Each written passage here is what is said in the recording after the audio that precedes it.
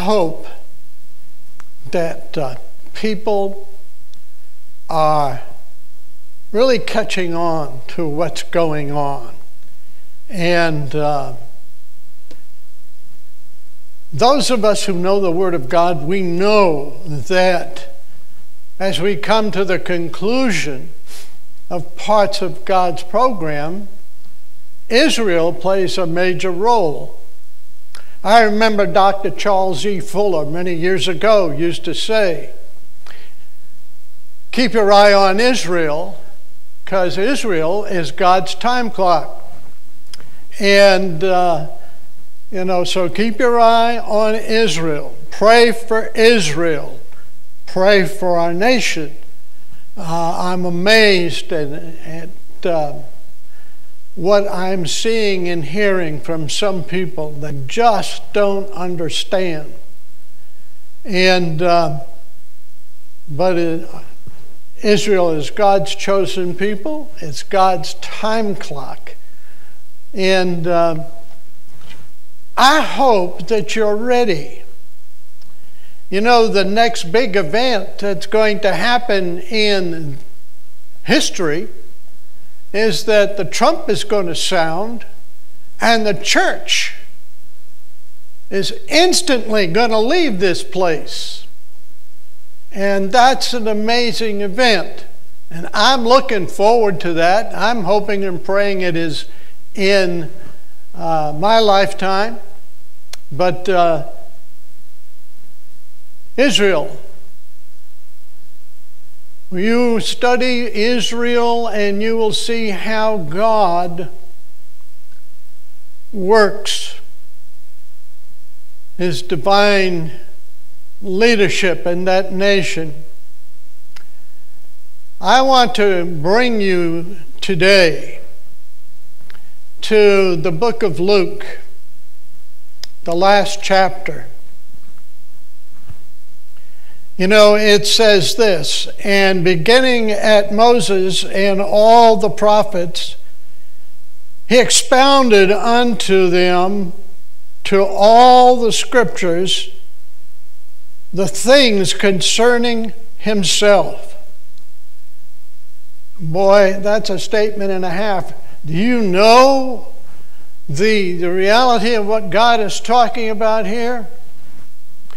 And they drew nigh unto the village whither they went, and he made as though he would have gone further, but they uh, constrained him.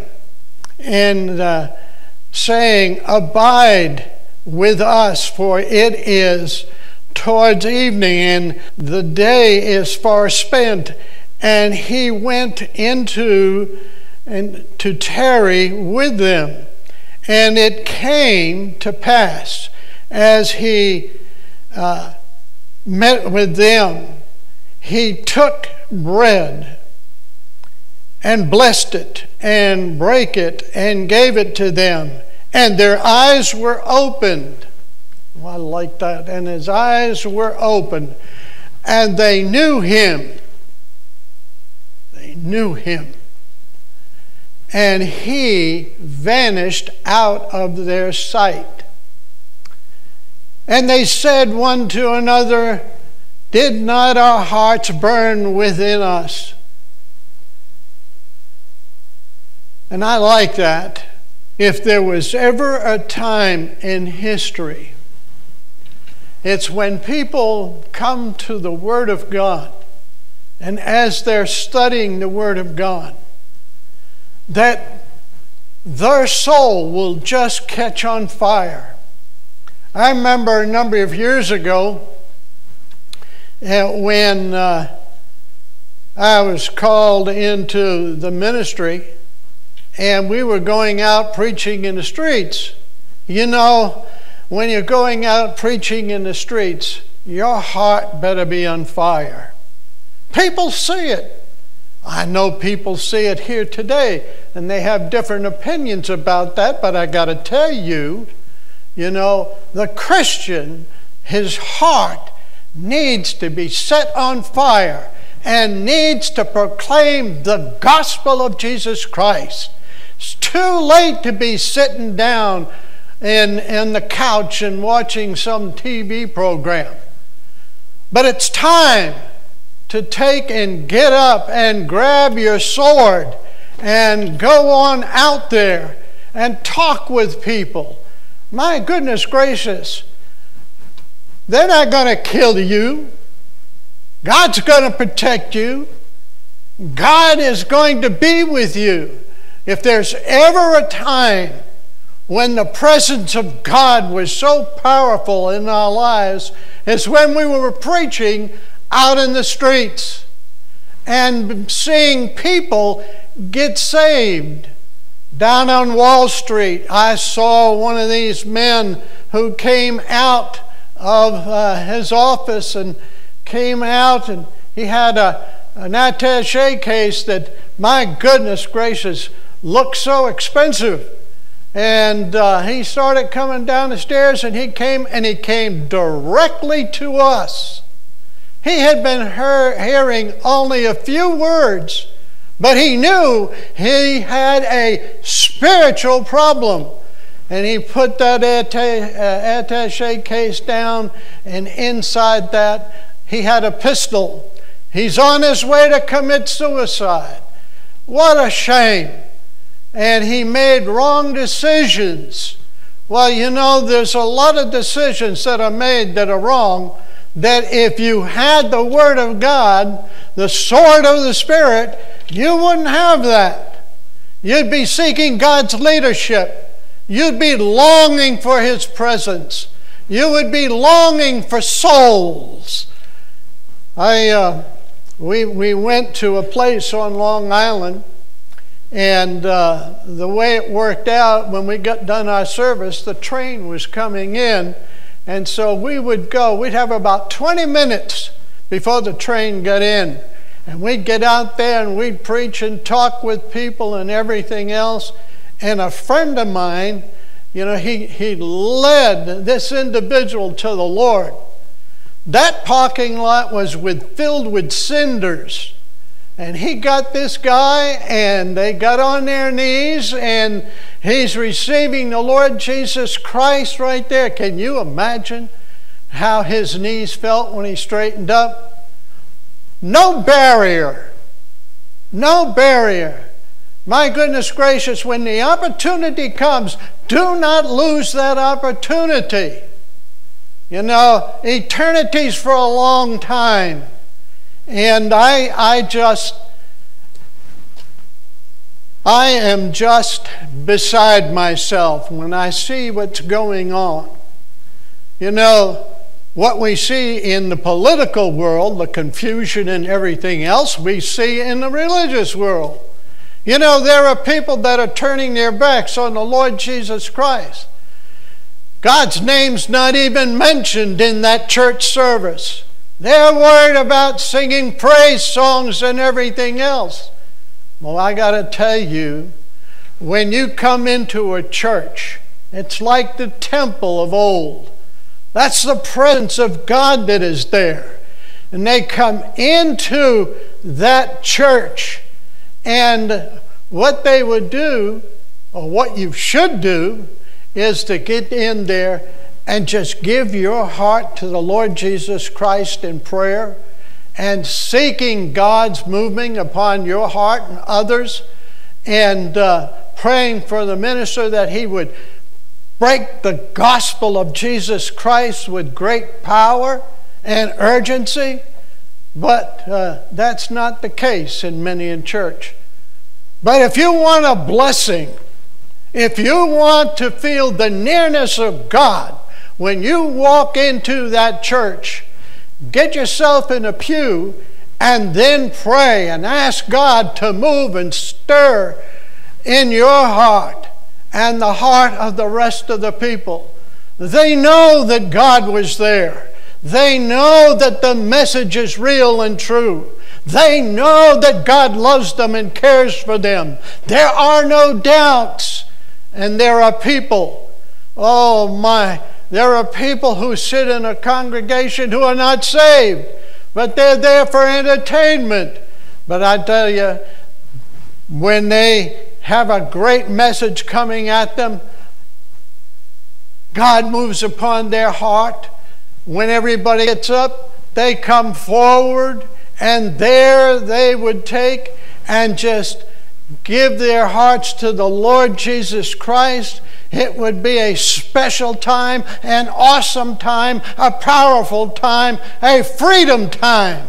And oh my, I'll tell you, what a shame to walk in and, and see empty, empty areas in front of the, the pulpit where people should be going on the altar call. My goodness gracious, it's hard to believe that people will get up and walk out the door and leave Jesus Christ behind. Then he's not important to them.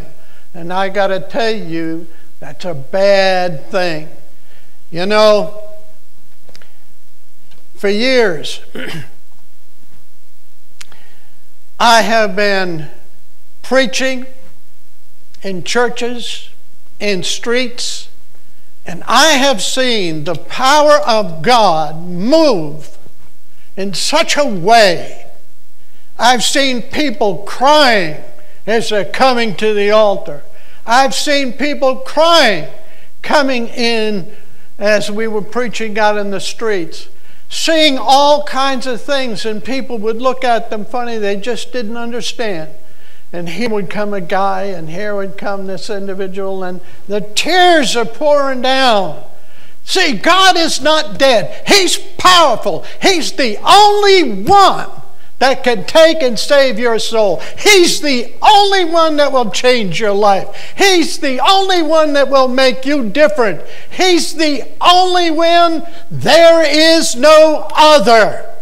And I'm going to tell you, and to be able to see people come to Christ in the streets. You know, I, I had just gotten out of the Marines and, and I was with some friends of mine, and he said, let's, let's go on out in the street. And we did. We went out in the street. And I got to tell you, it is great. It is great. It's an experience. And once you've done it, you don't want to stop. You know, Times Square is a, is a, is a, a place where a lot of people go to and from and everything else. And it, was, it was at Times Square, you would see people stop and they would take and they would listen and they would come forward. And, uh, you know, it was, a, it was a great time. Boy, I'll tell you, New York City needs that again. You need to get rid of some of these people you got in office. And uh, around this nation of ours, there are people whose hearts are so wicked and, you know, I tell you what, I can't understand how the leadership would take and allow people to commit crime and bring them to court and then let them go. What a, what a sinful situation that is. Well, I'll tell you, you know, it says this and they said one to another, Did not our hearts burn within us while, we, while he talked with us by the way, and while he opened to us the scriptures? You know, this book, it's alive, it's real. It is absolutely real. You know, any person that wants to come to the Lord Jesus Christ, you get into this book and you share it with them. It's alive. The words are alive. The Holy Spirit takes those words from the page and this take the heart. And oh, I got to tell you, to see people, we, uh, in the church that I had on Long Island, we on the radio, been on the radio about 10 years. And uh, there was a family that lived in Brooklyn, about 50 miles away. And uh, they fought all the time. So they got in their car and they were coming out and they had the radio on. It was our, our radio broadcast. And uh, the, uh, the wife convinced the husband, let's go. He dropped her off and he drove away, went around the, the, uh, the block, and it was a big block. Takes a while. She came down and she sat on that second row. I'll never forget it, right there. And a little bit later on, here comes this guy, and he's sitting in the back row and just sitting there. And we got done preaching and everything else, and some of the people came forward.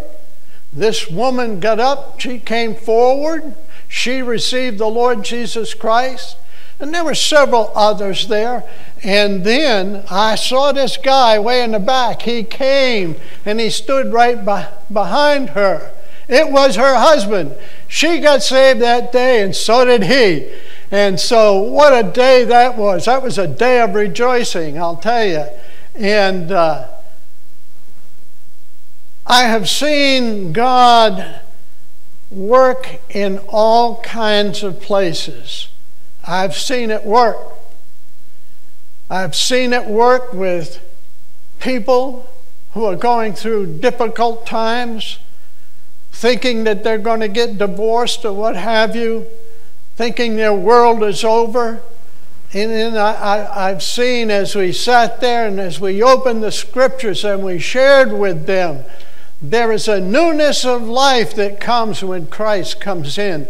And uh, to be able to sit by that table and see hands come together and a husband and wife get together again or when you're sitting in a jail or on, out in the streets where, you know, I, I was, uh, uh, for Christmas, we used to go around to the churches and we would get uh, some clothes, some toys for the kids of those who are incarcerated.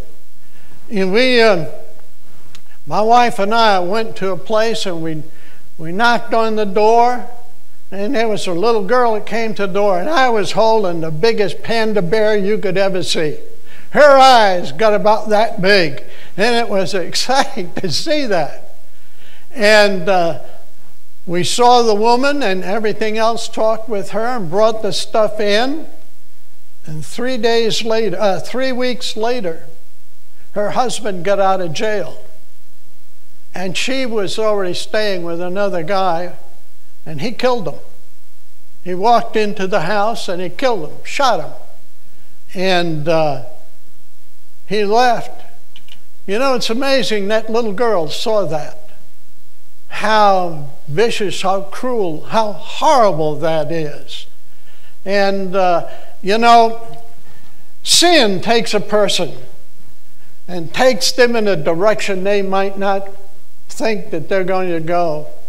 But I've met people that sin had taken them. I remember a family, they were taking and using drugs. I went into a house, uh, an apartment, and I had a good time there in this little apartment place in Appomattox. And you know, uh, I was supposed to go see a guy there, but there were four or five apartments before I got to his. I knocked on every single door and I had tracts and Gospel of John and I gave it and then I talked with people. I had the privilege of leading two or three families to the Lord there. And the guy that I was supposed to go see, he was supposed to be a real tough guy. You know what? Power melts when you come into the presence of the Lord Jesus Christ. And we led him to the Lord. And I, I am so thankful that God opened that door for us to be able to take and get in and see people. People who won't go there. They're afraid, you know? And not me. I just went right there and I, I just had a super time. And uh, I went to a house in. Uh, I think it was Concord, and uh, I had led their daughter to the Lord. Their daughter was one of the most beautiful women I've ever seen in my life. behind bars. And so I had the privilege of leading her to the Lord, and she asked me to go see mom and dad. So I went and I saw mom and dad. And the thing that amazed me, they had a coffee table in the living room, and on that coffee table was cocaine, it was pills, it was other stuff out there, and it just covered the top of that table. And he was proud of the fact. He told me, he said, you know, when, when my daughter started to run down and she needed more drugs, I told her, I know what I'm doing. I'll go get the drug for you and I'll do this. And so she had to go to prison for at least 25 years. And to me, what a shame that was. And here's mom and dad. They're pushing drugs in the living room. And we were talking with them about Jesus Christ. And uh, drugs will deaden your senses, drugs will turn your mind off. And so I, I saw the dad, and the mom was another thing. We led her to the Lord, but the dad, grandfather, no, this was all turned off. And uh, you know, he was nice, not rude, but he had no part of it. You know, I, to me, it's a shame. You've got the answer right here before your eyes. And if you want a life that will change you, if you want a life that's filled with God's presence, His peace, His love, His joy, filling your heart, then you need to get into this book. You need to get into the Word of God. You know, over the years, uh, this has been one of the greatest treasures in my life because when I go there, I find out God loves me, God cares for me, God cares for my family. And if you are depressed and down for some reason, you can go there and you can get into the Word, and God will lift you right up out of that miry clay and set your feet on a solid rock, and that rock is Jesus Christ. You know, I hope that you will turn your life over to Jesus Christ. That's what you have to do. I'm going to have a word of prayer. Lord, uh, we pray for those who are listening, and we pray if there is someone who is opened their heart to you, we just pray, Lord, that uh, you would enter their heart, you would just fill their life and lead them and guide them. Lord, we ask this in your precious name. Amen.